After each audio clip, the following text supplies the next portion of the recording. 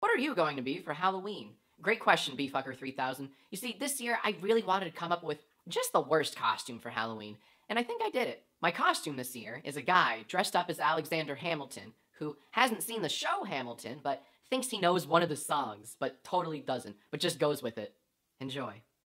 Alexander Hamilton, Alexander Hamilton, got yourself a prom, you can Alexander handle it.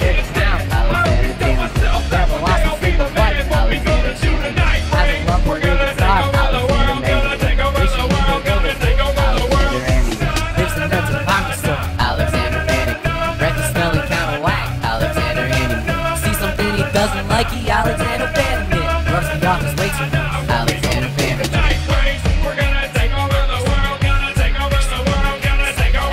Addison, favorite Sith Lord in the world. Alexander Anakin has a very lovely smile. Alexander Hanson transitioned to a woman. Now he Alexander Manning. Those two songs by Eminem. Alexander Stan. Totally skip lunch. I want an Alexander sandwich. What you want on your pillow? Alexander Hammond. Yo, we make a good president.